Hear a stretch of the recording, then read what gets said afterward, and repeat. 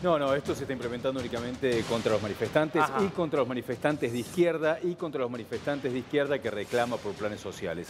Es algo muy puntual que está en este caso. Por ahora no tenemos noticias de que hayan logrado sacarle un peso a las organizaciones sindicales y a los que tienen algún tipo de, de recurso. Entonces, eh, es, es bastante difícil, Esteban, que Sí. logren sacarle dinero a, a personas de manera individual. Claro. Además, ¿qué tendrían que lograr mostrar? Porque acá, si lo que quieren hacer es eh, cobrarle específicamente a los que generaron destrozos, no son cientos de miles, son 20, 30 personas.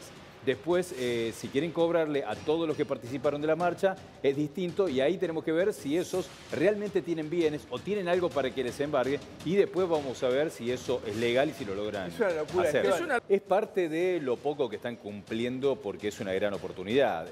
Lo que plantearon en campaña es que iban a eliminar totalmente los cortes de calle. Incluso lo que planteaban es que iban a buscar llevar presos a los que generen un corte de calle. Eso todavía no ocurrió. Pero eh, este mensaje de lograr hacer que paguen por el uso de las fuerzas de, la se- de seguridad, que lo plantearon en la campaña política, por lo menos lo están haciendo y están buscando cobrarle. Ya buscaron cobrarle, por ejemplo, a ATE, el sindicato de camioneros, a distintos sindicatos. Le buscaron cobrar ya, eh, esta sería la tercera vez, Sí. lo buscaron hacer en, en los que participaron de la marcha del 20 de diciembre, en la marcha de eh, lo que tiene que ver con el primer paro y ahora están buscando cobrar de nuevo.